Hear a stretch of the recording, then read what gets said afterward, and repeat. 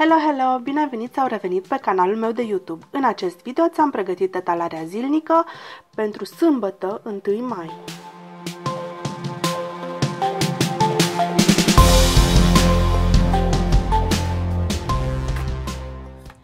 Hai să vedem pentru această zi de sâmbătă. Sărbători fericite pentru toți cei care sărbătoriți acum Paștele. Hai să vedem ce mesaje ne rezervă cărțile de tarot pentru această zi de sâmbătă. Pe partea de dragoste, partea de sănătate și pentru afaceri, bani și carieră. Wow, foarte interesant! Primul rând, pe partea de dragoste avem aici o arcană majoră foarte frumoasă, Steaua, cartea care în tarot ne vorbește despre zodia vărsătorului și care vine cu un mesaj foarte optimist. Orice vă doriți se poate împlini. Chiar dacă aveți impresia că nu o să puteți niciodată să fiți într-o relație cu persoana la care voi visați, aici steaua vine și vă spune să fiți încrezători, pentru că oricât de imposibil ar părea acum, acest lucru este posibil. Puteți să aveți relația pe care vă doriți. Puteți să atrageți în viața voastră partenerul pe care vi-l doriți. Puteți să fiți fericiți fără absolut nicio problemă, pentru că meritați acest lucru. Dar trebuie ca și voi să aveți încredere că meritați acest lucru. Și aici vreau să vă atrag atenția, pentru o parte dintre voi am impresia că aveți o stimă de sine foarte scăzută și voi sunteți ferm convinși că meritați să fiți în relația toxică în care sunteți acum, că meritați să fiți într-o relație abuzivă, că meritați ca soțul sau soția voastră să vă înșele sau să se poarte urât cu voi. Ori chiar nu e cazul. Aici, cu această carte, cu această stea norocoasă deasupra voastră, Universul vrea să vă spună că meritați doar ceea ce e mai bun, și atunci când veți fi capabil să vă schimbați această percepție asupra voastră, când veți fi capabil să vă îmbunătățiți stima de sine și să nu mai acceptați relații toxice, parteneriate toxice, comportamente destructive din partea partenerului sau partenerei voastre, atunci când o să vă impuneți standardele, oamenii din jurul vostru o să reacționeze și o să se poarte cu voi așa cum voi Vă așteptați că cei din jurul vostru ar trebui să se poarte față de voi, dar totul trebuie să înceapă din interior, de la voi înși vă. Și această schimbare nu o să vină într-un mod agresiv.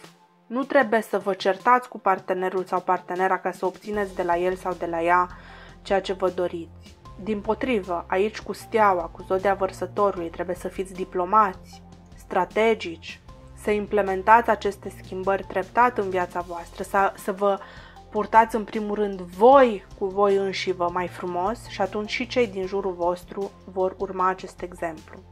Pentru cei singuri, aici steaua vă îndeamnă să visați, să visați exact partenerul vostru ideal, să vi-l imaginați cu cele mai amănunțite detalii și Universul va pregăti această persoană pentru voi.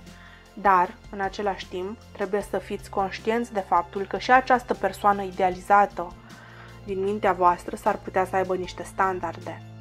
Și atunci este de datoria voastră ca voi să vă ridicați la înălțimea acelor standarde. Pentru că ceea ce ne dorim aici este un parteneriat de egalitate. Ne dorim ca cele două persoane din relație să fie pe picior de egalitate, să se ajute reciproc. Nu vrem ca o persoană să fie deasupra celeilalte. Acestea sunt idei învechite asupra relațiilor. Atât femeia cât și bărbatul, atât soțul cât și soția sunt pe picior de egalitate. Sunt la fel de valoroși, sunt la fel de importanți, sunt egali.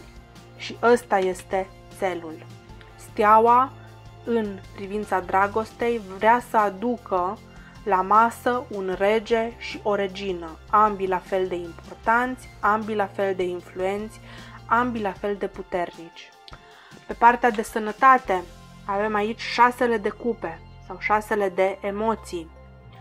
O carte foarte frumoasă, o energie foarte nostalgică care ne îndeamnă la prevenție. Aici mesajul pentru toată lumea este ca astăzi să discutați cu niște membri mai în vârstă din familia voastră ca să aflați tot istoricul de boli din familia voastră și să puteți să vă puneți la punct un plan de prevenție astfel încât în timp să scădeți considerabil riscul ca și voi să dezvoltați acele boli cronice care se transmit oarecum din generație în generație pe linie genetică. Pentru cei care aveți deja aceste boli, suferiți deja de aceste boli, aici acest 6 de emoții vine și ne spune că astăzi o să aveți o zi mai plăcută, în care simptomele voastre o să se ușureze, o să vă simțiți iar ca în copilărie, o să aveți mai multă energie, o să fiți mai mobili, mai flexibili, mai activi și mai fericiți. E o energie frumoasă, dar în același timp e o energie trecătoare. Și aici, um, pentru cei care suferiți deja de niște boli cronice sau de niște afecțiuni, șasele de cupe vrea să vă spună că soluția problemei voastre se află undeva în trecutul vostru, în copilăria voastră. Și ca să găsiți exact cauza problemei voastre, trebuie, va trebui să faceți mulți pași în trecut. Pe partea de afaceri, bani și carieră avem aici cinciul de monede, cinciul de materiale, o carte de tristețe, de pierderi materiale, dar care în același timp vine cu un semnal de alarmă și anume aceste pierderi pe care riscați să le suferiți astăzi pe partea financiară sunt pentru că aveți o viziune mult prea limitată. Ajutorul este la îndemâna voastră. Trebuie doar să vă întoarceți și să vă uitați bine în toate părțile, pentru că aici aveți oameni care vor să vă susțină, colegi care pot să vă sară în ajutor, șefi care vor să fie de partea voastră, dar trebuie și voi să comunicați, trebuie și voi să cereți ajutor. Pentru că dacă voi nu comunicați, dacă voi nu spuneți care e problema, oamenii din jurul vostru n-au cum să vă citească gândurile, n-au cum să știe că voi aveți nevoie de suport, de susținere aici.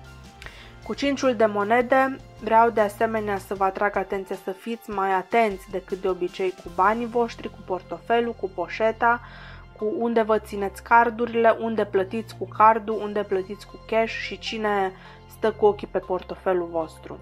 Cinciul de monede nu ne spune că inevitabil o să, fi, o să pierdeți niște bani. Nu, el vine doar cu riscul de pierderi materiale, dar dacă voi sunteți precauți, dacă voi sunteți conștienți de acest risc și luați toate măsurile de prevenție care sunt la îndemâna voastră, puteți să eliminați acest risc. Trebuie doar să fiți atenți. Și atunci când chiar o să se întâmple ceva, să spunem că se întâmplă cel mai rău scenariu și chiar pierdeți niște bani, vi se, fură, vi se fură portofelul sau vi se fură niște bani din cont, e important să fiți calmi, să fiți calculați, să vă uitați atent în jurul vostru pentru că pârghiile necesare ca să vă recuperați acești bani sunt la îndemâna voastră. Dacă vi se fură cardul, citiți-vă atent contractul cu banca intrați pe site-ul băncii, sunați la linia telefonică non-stop a băncii și ei o să vă îndrume, o să vă spune exact care sunt pașii, ce aveți de făcut ca să vă recuperați banii. Nu e capăt de țară, nu e final de drum, da, e o zi cu anumite riscuri aici materiale, dar dacă sunteți calmi, calculați, precauți, puteți să eliminați acest risc.